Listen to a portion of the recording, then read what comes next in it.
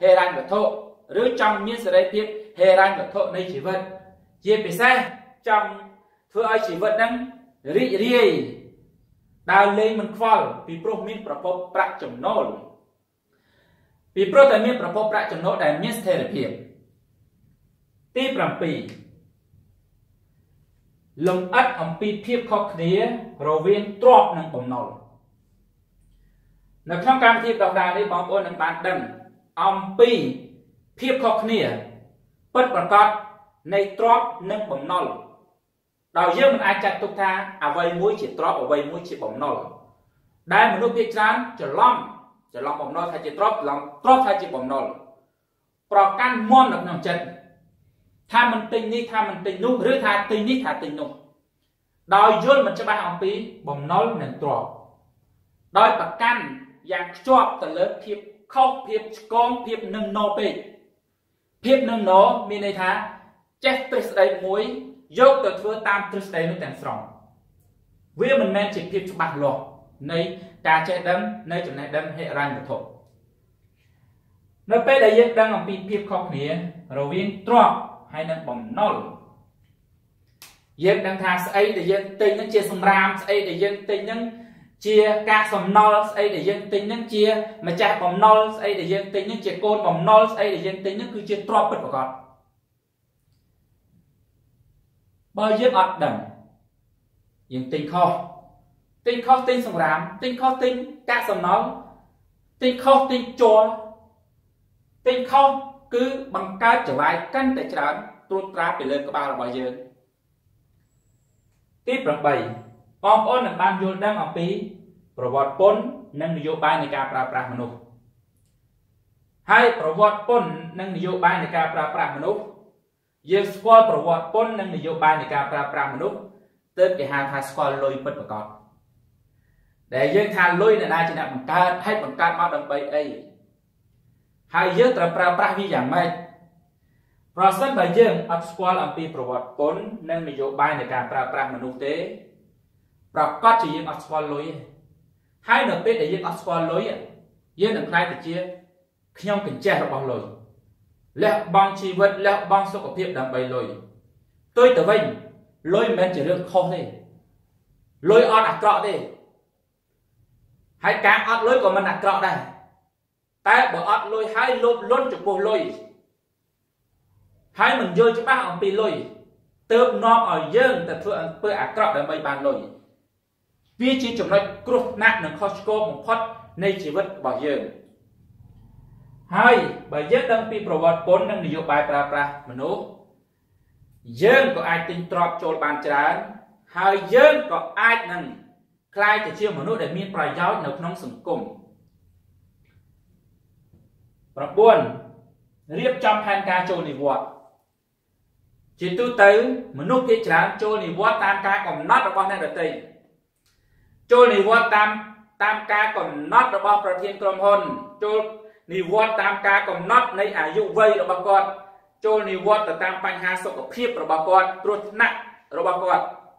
ឬក៏ចូលនិវត្តន៍ទៅតាមការដែលមិនអាចធ្វើការងារកើតឥឡូវនេះចំណេះដឹងនៃវគ្គប្រដាល់នេះនឹងជួយបងប្អូនឲ្យរៀបចំការចូលនិវត្តន៍តាមពេលកំណត់របស់ខ្លួនមិនមែនតាមពេលកំណត់របស់អ្នកដទៃ ហើយសម្រាប់បងប្អូនដែលនៅក្មេងៗអាយុ20ឆ្នាំឬ30ឆ្នាំអាចចូលនិវត្តន៍តែនៅវ័យក្មេងដល់ទៅពេលមនុស្សចាស់អាចនឹងត្រូវបានរៀបចំពេលវេលាពី5ទៅ10ឆ្នាំដើម្បីធ្វើការចូលនិវត្តន៍ពីព្រោះជីវិតយើងយើងកើតមកមិនត្រូវធ្វើជាខ្ញុំកញ្ចេះនៃជីវិតរបស់យើងទេយើងកើតមកត្រូវតែធ្វើជាម្ចាស់នៃជីវិតរបស់យើងយើងត្រូវតែសប្បាយរីករាយជាមួយនឹងជីវិតហើយធ្វើរឿងដែលមានប្រយោជន៍សម្រាប់សង្គមជាតិនិងផែនដី មិនមែនជាមួយក្បាលរកតលុយរកតលុយរកតលុយរហូតដល់ស្លាប់ទៅនៅតែជាប់ផុងរឿងលុយនៅតែខ្លាយទៅជា អ្នកដែលអត់មានលុយវាមិនមែនជាជីវិតដែលឆ្លាតវៃហើយវាមិនមែនជាបំណងប្រាថ្នារបស់យើងទេទី10មានមេរៀនជាច្រើនទៀតដែលខ្ញុំមិនបានដាក់នៅក្នុងហ្នឹងអញ្ចឹងវគ្គបណ្ដុះដាលអំពីវិធីខ្លាយជាអ្នកមាន ជាវគ្គបណ្ដុះដាលមួយដែលធ្វើឲ្យយើងយល់ច្បាស់អំពីលុយនិងជីវិតហើយធ្វើឲ្យខ្លួនប្រព្រឹត្ត បានត្រឹមត្រូវសុចរិតនិងคล้ายទៅជាអ្នកមានតាមការកំណត់របស់ខ្លួនវគ្គបណ្ដុះបណ្ដាលនេះបងប្អូនអាចចូលរៀនបាននៅគ្រប់ទីកន្លែងទាំងអស់ពីព្រោះយើងរៀនទៅតាមអនឡាញ រៀនតាមអនឡាញគឺតាមអែបអូនសារ៉ាកាលពីមុនបើយើងចង់ចូលរួមសិក្ខាសាលានៅកន្លែងណាមួយយើងត្រូវចូលរួមដែលការចូលរួមរបស់យើងនេះយើងត្រូវធ្វើដំណើរមកមកពីបរទេសមកពីខេត្តក្រុងអ្នកខ្លះជាយន្តហោះពីកូរ៉េមកអស់ប្រហែលខ្មែរយើងហ្នឹងមិនមែនមិនមែនជនជាតិកូរ៉េទេ អ្នកខ្លះទៀតមកពីខេត្តហើយគាត់មកពីខេត្តគាត់ជិះឡានលេខស៊ីគ្រាន់តែថ្លៃទៅមកថ្លៃសាំងនឹងអស់200ដុល្លារបាត់ហើយហើយនៅថ្លៃដេកនៅថ្លៃហូបអាហារនៅពេលវេលាទៀតដូច្នេះសម័យនេះគឺជាសម័យបច្ចេកវិទ្យាអញ្ចឹងហើយយើងត្រូវវិវត្តទៅតាមបច្ចេកវិទ្យាมันមានន័យថាយើងមិនត្រូវបង្កើតវគ្គបណ្ដុះដាលឬវគ្គសិក្ខាសាលាតាមសន្តាគារឬទីកន្លែងទេ ប៉ុន្តែវគ្គនោះគឺជាវគ្គដែលយើងបំផុសសក្តានុពលផ្លូវចិត្តមិនមែនជាវគ្គដែលយើងបំផុសសក្តានុពលផ្លូវគំនិតដែលនាំឲ្យមនុស្សចេះគិតចេះត្រេះរិះពិចារណាបង្កើតផែនការបង្កើតយុទ្ធសាស្ត្រទេគឺជាវគ្គដែលយើងបំផុសបំផុលដើម្បីឲ្យអំណាចដួងចិត្តបើកទ្វារបើកធម្មពលស្រោចស្រពរាងកាយរបស់យើងឲ្យคล้ายទៅជាមនុស្សដែលមានកម្លាំងកំហែងមាំមួន មានទឹកចិត្តខ្លាំងក្លាអង់អាចពុះពៀជំនះគ្រប់ឧបសគ្គទាំងអស់តែវគ្គនេះគឺជាវគ្គបច្ចេកទេសតិចនិចយុទ្ធសាស្ត្រជាវគ្គដែលយើងអាចរៀនតាមអនឡាញយ៉ាងមានប្រសិទ្ធភាពពីព្រោះថាលំអិតមេរៀនទាំងអស់នេះបើយើងរៀនមួយថ្ងៃអត់អាចទៅរួចទេ តែយើងរៀនដល់ទៅ3ថ្ងៃ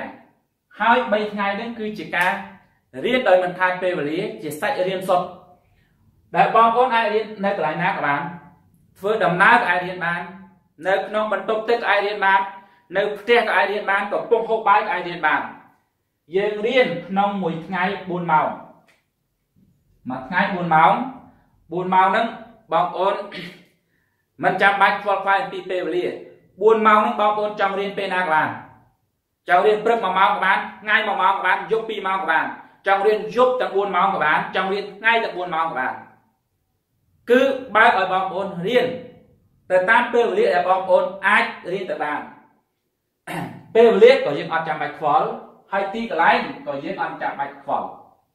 គឺយើងគ្រាន់តែរៀនតាមអែប4ស្រាប់ហើយការចូលរៀននោះគឺយើងចូលរៀននៅថ្ងៃទី8 9 10តែ3ថ្ងៃទេណា8 9 10 ខែកញ្ញាគឺខែ9ឆ្នាំ2018ខែ9ឆ្នាំ2018ហើយចាប់ផ្ដើមទទួលចុះឈ្មោះចូលរៀនពីឥឡូវហ្នឹងពីពេលវេលា ដែលបងប្អូនបានឃើញឃ្លីបហ្នឹងទៅលក្ខខណ្ឌនៃការចូលរៀននោះគឺបងប្អូនត្រូវមាន smartphone ពីព្រោះយើងត្រូវរៀនតាម app ហើយបងប្អូនចេះស្ដាប់ភាសាខ្មែរពីព្រោះខ្ញុំនិយាយតាមភាសាខ្មែរ ហើយអាយុគឺចាប់ពីបងប្អូនដឹងក្តីទៅពីព្រោះឥឡូវនេះជួនកាលមានក្មេងអាយុ12ឆ្នាំក៏អាចដឹងក្តីដែរមនុស្សឥឡូវគឺមានការវិវត្តផ្នែកបញ្ញាលឿនដូច្នេះហើយខ្ញុំដាក់ថាចាប់ពីដឹងក្តីឡើងទៅ រហូតដល់អាយុប្រមាណក៏អាយុទៅមនុស្សចាស់ក៏អាចរៀនបានដែរហើយចំពោះតម្លៃសិក្សាវិញ ដោយសារនេះជាចំនួនទី1ចំនួនទី1នេះគឺតម្លៃសិក្សា1ភាគ6នៃតម្លៃសិក្សាធម្មតា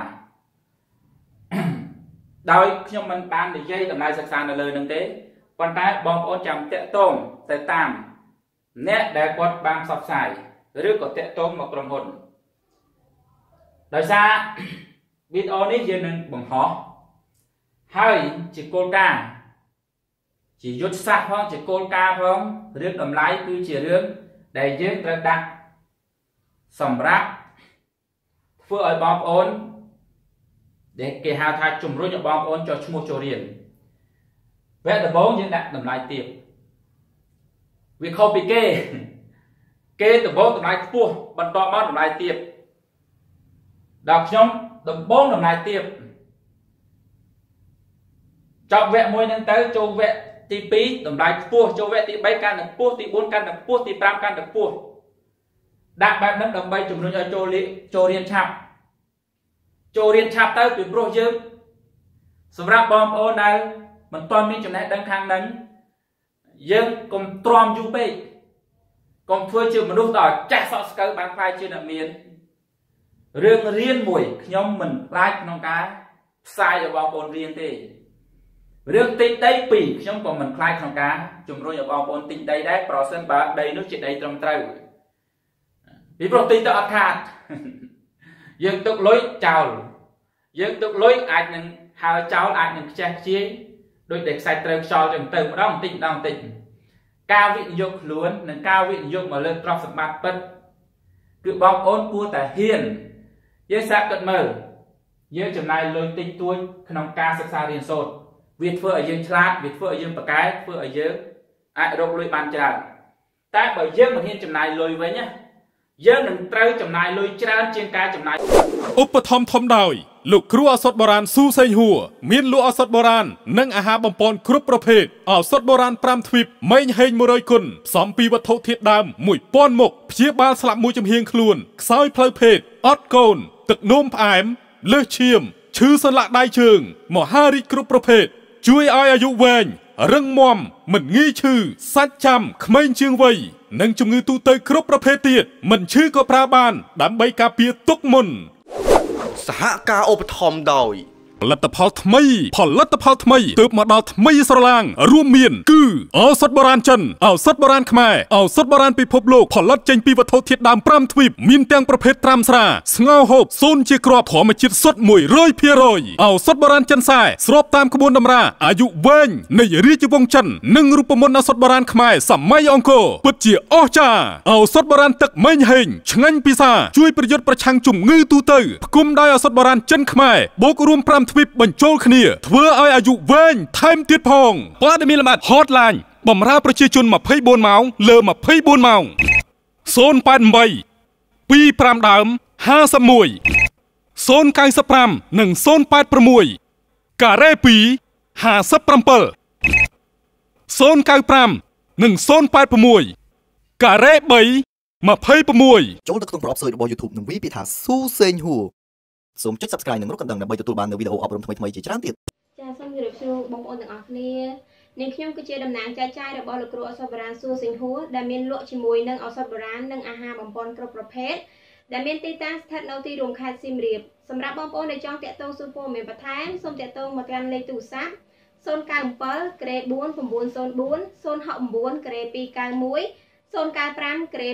291ចា៎មានខ្ញុំតំណាងចែកចាយឱសថបុរាណលោកគ្រូស៊ូសេងហ៊ូមានលក់អាហារបំពន់និងឱសថបុរាណគ្រប់ប្រភេទមានទីតាំងនៅភូមិត្រោះភូមិបលាំងស្រុកបារាយខេត្តកំពង់ធំខ្ញុំជាតំណាងចែកចាយធំបលោកគ្រូឱសថបុរាណស៊ូសេងហ៊ូមានលក់ឱសថបុរាណនិងអាហារបំពន់គ្រប់មុខសាខាក្រុងសួងខេត្តត្បូងឃ្មុំទីតាំងស្ថិតនៅទល់មុខសាសួរ